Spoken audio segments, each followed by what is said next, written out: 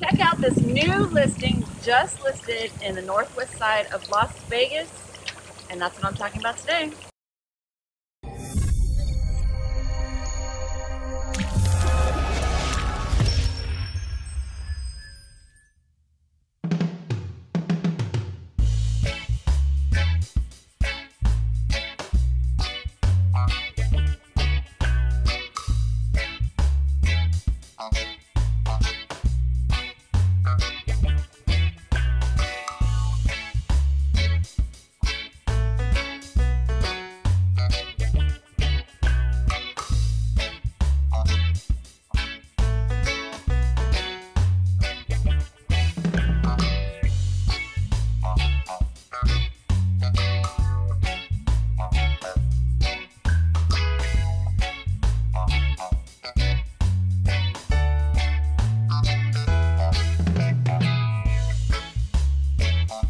Hey everyone, welcome back to my channel. I'm Angela O'Hare, your favorite Las Vegas realtor.